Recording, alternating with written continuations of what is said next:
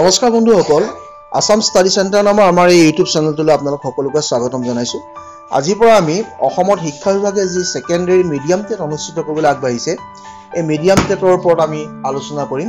প্ৰথমতে আমি মিডিয়াম টেটৰ যিখন জেনেৰেল ষ্টাডিজ পেপাৰ এই জেনেৰেল ষ্টাডিজ পেপাৰৰ Indian polity and constitution of ইণ্ডিয়াৰ তাৰ ওপৰত আমি আলোচনা কৰিম এম চি কিউ এই Indian polity and constitution of ইণ্ডিয়াৰ প্ৰশ্নবিলাকৰ ভিতৰত আজিৰ ভিডিঅ'টো হৈছে পাৰ্ট ওৱান আমি ডেইলি ইয়াৰ ওপৰত আলোচনা কৰিম। এটা এটা বিষয় আমি পুংখানুপুংখভাৱে আলোচনা কৰিবলৈ চাম এম চি কিউ টাইপত। আশা কৰোঁ এই ভিডিঅ'টোৰ যোগেদি আপোনালোক উপকৃত হ'ব।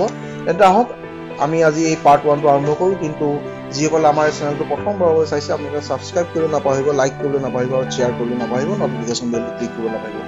এয়া Indian polity and constitution of ইণ্ডিয়াৰ প্ৰথমটো প্ৰশ্ন আপোনালোকৰ সন্মুখত। উচ্চতম ন্যায়ালয়ৰ এজন ন্যায়াধীশে কিমান বছৰ বয়সত অৱসৰ গ্ৰহণ কৰে? ক পঁয়ষষ্ঠি বছৰ খ বাষষ্ঠি বছৰ গ আঠষষ্ঠি বছৰ ঘ সত্তৰ বছৰ। শুদ্ধ উত্তৰ হৈছে ক পঁয়ষষ্ঠি বছৰ। দুই নম্বৰৰ প্ৰশ্ন ভাৰতৰ প্ৰথম মুখ্য ন্যায়াধীশ কোন আছিল? ক পতঞ্জলি শাস্ত্ৰী খ এইচ জে কানিয়া গ এছ আৰ দাস ঘ চান মহাজন। শুদ্ধ উত্তৰ হৈছে এইচ জে কানিয়া। তিনি নম্বৰৰ প্ৰশ্ন এতিয়ালৈকে ভাৰতৰ সংবিধান কিমানবাৰ সংশোধন কৰা হৈছে? ক আঠান্নব্বৈ খ বিৰান্নব্বৈ গ এশ তিনিবাৰ ঘ এশ চৌবিছ বাৰ শুদ্ধ উত্তৰ হৈছে এশ চৌবিছ বাৰ চাৰি নম্বৰৰ প্ৰশ্ন। ভাৰতৰ আটাইতকৈ বৃহৎ কেন্দ্ৰীয় শাসিত অঞ্চল হৈছে ক জম্মু কাশ্মীৰ খ চণ্ডীগড় গ দমন দিউ ঘ পণ্ডিচেৰী। শুদ্ধ উত্তৰ হৈছে ঘ পণ্ডিচেৰী। পাঁচ নম্বৰ প্ৰশ্ন। ৰাজ্যসভাত সৰ্বমুঠ আসনৰ সংখ্যা ক দুশ পঞ্চাছ খ দুশ দহ গ দুশ পোন্ধৰ ঘ দুশ চৌৰাশী। শুদ্ধ উত্তৰ হৈছে দুশ পঞ্চাছ। ছয় নম্বৰ প্ৰশ্ন লোকসভাৰ প্ৰথম অধিৱেশন কেতিয়া হৈছিল? ক ঊনৈছশ পঞ্চাছ চনৰ পোন্ধৰ আগষ্ট খ ঊনৈছশ বাৱন্ন চনৰ পোন্ধৰ আগষ্ট গ ঊনৈছশ বাৱন্ন চনৰ তেৰ মে' ঘ ঊনৈছশ তেপন্ন চনৰ বাৰ জানুৱাৰী। শুদ্ধ উত্তৰ হৈছে ঊনৈছশ বাৱন্ন চনৰ তেৰ মে' সাত নম্বৰ প্ৰশ্ন লোকসভাৰ প্ৰথম অধ্যক্ষ কোন আছিল? ক জি ভি মালাংকাৰ গ এম এ আয়াংগাৰ গ ৰাজেন্দ্ৰ প্ৰসাদ ঘ এটাও নহয় শুদ্ধ উত্তৰ হৈছে জি ভি মালাংকাৰ। নেক্সট অধ্যক্ষৰ আটাইতকৈ বেছি সময় আসনত থকা লোকসভাৰ ব্যক্তিজন হৈছে ক সোমনাথ চেটাৰ্জী খ পি এ চাংমা গ বলৰাম জাখৰ ঘ কে এছ হেগ্ৰে। শুদ্ধ উত্তৰ হৈছে বলৰাম জাখৰ। ন নম্বৰ প্ৰশ্ন। এটা বছৰত লোকসভাৰ অধিৱেশন কিমানবাৰ অনুষ্ঠিত হয়? ক চাৰিবাৰ খ তিনিবাৰ গ দুবাৰ ঘ পাঁচবাৰ। শুদ্ধ উত্তৰ হৈছে তিনিবাৰ। দহ নম্বৰ প্ৰশ্ন। তলৰ কোনখন ৰাজ্যত দুয়োটা সদনতে আটাইতকৈ বেছি প্ৰতিনিধি আছে? ক উত্তৰ প্ৰদেশ খ মধ্যপ্ৰদেশ গ বিহাৰ ঘ পশ্চিমবংগ। শুদ্ধ উত্তৰ হৈছে উত্তৰ প্ৰদেশ। এঘাৰ নম্বৰ প্ৰশ্ন। পৰিকল্পনা আয়োগৰ প্ৰথম ডেপুটি চেয়াৰমেন কোন আছিল? ক. নেহেৰু খ. চি. এম. ত্ৰিবেদী গ. অশোক মেহতা ঘ. গুলজাৰীলাল নন শুদ্ধ উত্তৰ হৈছে গুলজাৰীলাল নন বাৰ নম্বৰ প্ৰশ্ন। ভাৰতৰ সৰ্বমুঠ উচ্চ ন্যায়ালয়ৰ সংখ্যা কিমান? ক. বত্ৰিছ খ. চৌবিছ গ. পঁচিছ ঘ. সাতাইছ শুদ্ধ উত্তৰ হৈছে চৌবিছখন নেক্সট কুৱেশ্যন তলৰ কোনখন ভাৰতৰ আটাইতকৈ পুৰণি উচ্চ ন্যায়ালয়। ক কলিকতা উচ্চ ন্যায়ালয় খ মাদ্ৰাজ উচ্চ ন্যায়ালয় গ অন্ধ্ৰ উচ্চ ন্যায়ালয় ঘ দিল্লী উচ্চ ন্যায়ালয়। শুদ্ধ উত্তৰ হৈছে কলিকতা উচ্চ ন্যায়ালয়। নেক্সট তলৰ কোনখন উচ্চ ন্যায়ালয়ৰ ক্ষেত্ৰাধিকাৰ বেছি। ক গুৱাহাটী উচ্চ ন্যায়ালয় খ দিল্লী উচ্চ ন্যায়ালয় গ মাদ্ৰাজ উচ্চ ন্যায়ালয় ঘ পাটনা উচ্চ ন্যায়ালয়। শুদ্ধ উত্তৰ হৈছে গুৱাহাটী উচ্চ ন্যায়ালয়।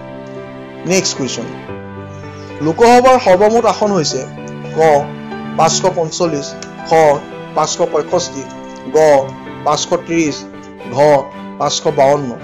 শুদ্ধ উত্তৰ হৈছে পাঁচশ পঞ্চল্লিছ নেক্সট কুৱেশ্যন বিশ্বৰ ভিতৰত দ্বিতীয় বৃহৎ ন্যায়িক চৌহদ হৈছে ক গুৱাহাটী উচ্চ ন্যায়ালয় খ দিল্লী উচ্চ ন্যায়ালয় গ মাদ্ৰাজ উচ্চ ন্যায়ালয় ঘ বম্বে উচ্চ ন্যায়ালয়। শুদ্ধ উত্তৰ হৈছে মাদ্ৰাজ উচ্চ ন্যায়ালয়। নেক্সট কুৱেশ্যন ভাৰতত প্ৰথম সাধাৰণ নিৰ্বাচন অনুষ্ঠিত হৈছিল ক ঊনৈছশ পঞ্চাছ খ ঊনৈছশ একাৱন্ন গ ঊনৈছশ বাৱন্ন ঘ ঊনৈছশ পঁচপন্ন।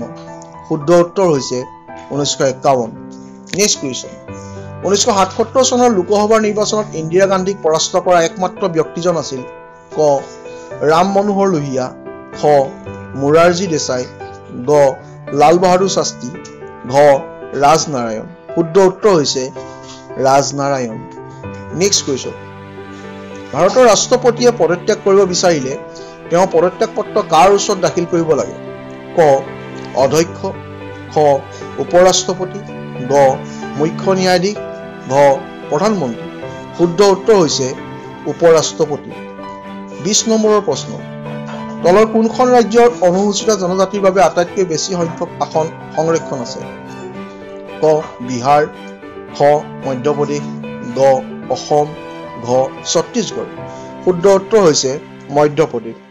নেক্সট কুৱেশ্যন ভাৰতৰ আটাইতকৈ বেছি সময় মুখ্যমন্ত্ৰী হৈ থকা ব্যক্তিজন কোন?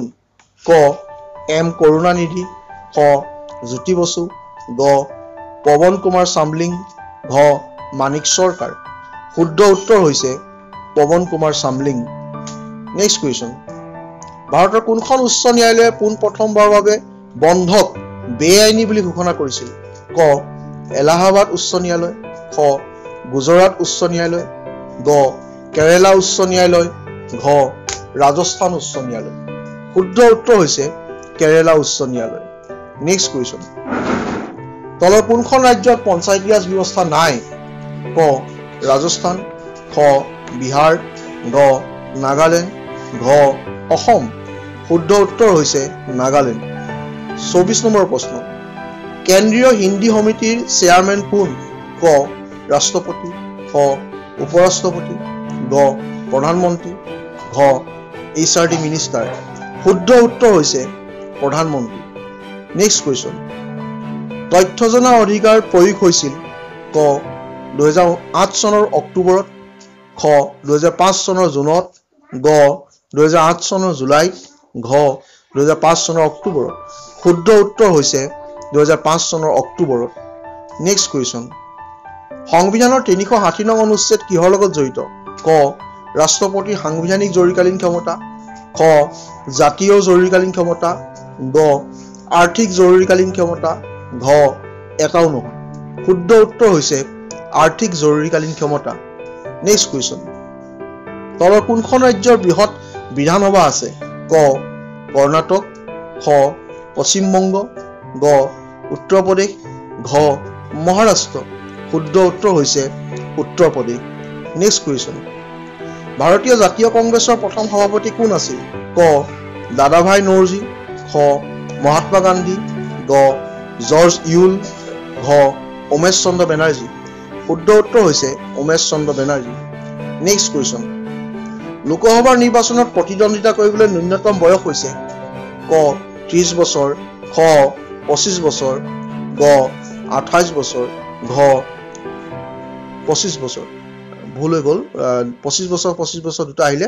লাষ্টতে হ'ব লাগিছিলে পঁয়ত্ৰিছ বছৰ। শুদ্ধ উত্তৰ হৈছে পঁচিছ বছৰ। আজি লাষ্ট প্ৰশ্ন ভাৰতৰ ৰাষ্ট্ৰপতি পদৰ বাবে প্ৰতিদ্বন্দ্বিতা কৰিবলৈ ন্যূনতম বয়স হৈছে ক ত্ৰিছ বছৰ খ পঁয়ত্ৰিছ বছৰ গ আঠাইছ বছৰ ঘ পঁচিছ বছৰ। ইয়াৰ শুদ্ধ উত্তৰ হৈছে পঁয়ত্ৰিছ বছৰ।